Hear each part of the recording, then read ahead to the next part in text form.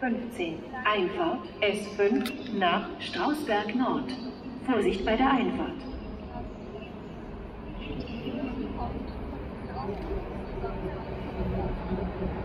Werte Fahrgäste, aufgrund von Bauarbeiten besteht auf der Linie S2 zwischen Friedrichshagen und Erkner Ersatzverkehr mit Bussen. Nutzen Sie zum Brauch auch die Regionalbahn 1.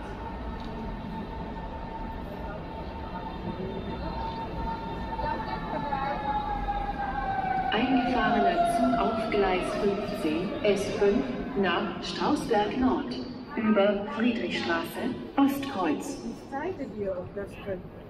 Die hat mir gesagt, was ein Ticket von uns.